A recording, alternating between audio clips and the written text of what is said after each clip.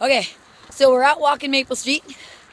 I'm with an assistant director at EGRP and administrative services, Caitlin Bay. And Nicole, where'd you go? There you go. And we're walking. All right, thank you, bye. Oh, because we got our Fitbits on. Caitlin doesn't have a Fitbit. No Fitbit. She's not part of the Fitbit Club. She's not part of our club, so she can't friend us. And but that's it. Okay, thank you, bye.